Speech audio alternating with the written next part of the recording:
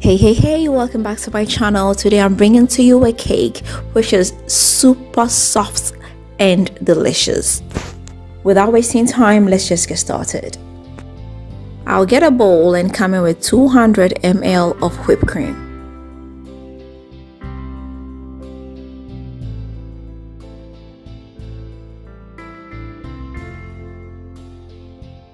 I'll whip it up till it gets stiff.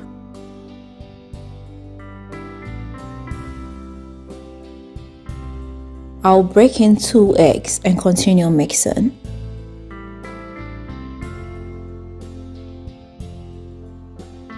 After it has mixed up well, I'll come in with two more eggs and continue mixing.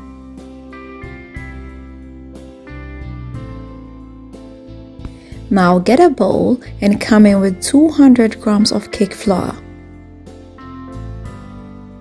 I'll come in with 150 grams of sugar.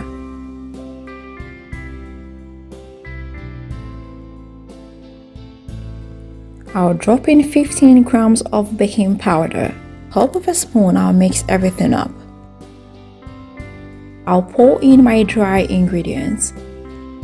With the help of a spoon, I'll mix everything up.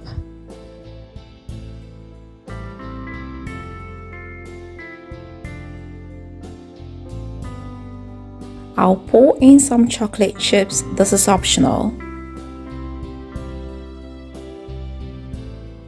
So I have my lined baking pan over here.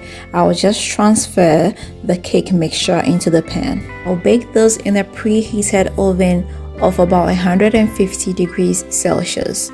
I'll bake this for about 25 to 30 minutes. After 30 minutes, this is what we have here. This is super soft and air filled. And this was so quick and easy to make. You definitely need this on your breakfast table. I hope you are going to give this a try. If you do, let me know how it comes out for you. You can send me pictures if you want to. If you've not subscribed, please don't forget to hit the subscribe button. Don't forget to share this with family and friends and don't forget to leave me a big fat thumbs up.